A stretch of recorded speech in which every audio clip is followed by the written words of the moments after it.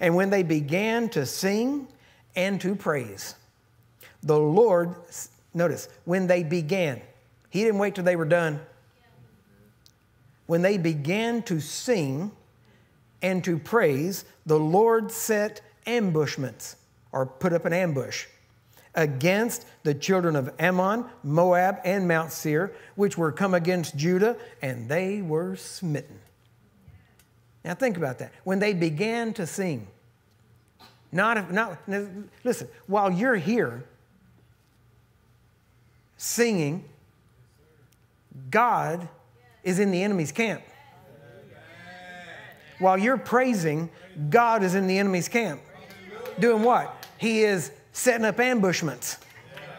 And as you sing, he starts setting up ambushments and they are smitten. And as you praise, the enemy is stopped and the avenger is stopped. So the enemy, he just attacks because he don't like you. He's stopped. The avenger is the one that comes to pay you back for the wrong you did. And yet, praising God stops both of them. It's the only example I have ever, well, got to take that back. There's two examples of why sowing and reaping stops or doesn't work. Number one, praise.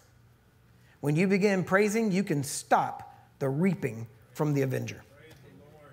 Number two, if you faint, your reaping won't come.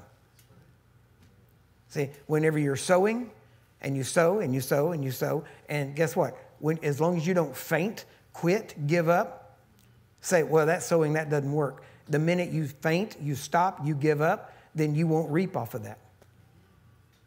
So you, the idea is that it is in you to sow, and when it's in you to sow, you will continue to sow, and as you continue to sow, you will continue to reap. Now, that can be good or bad.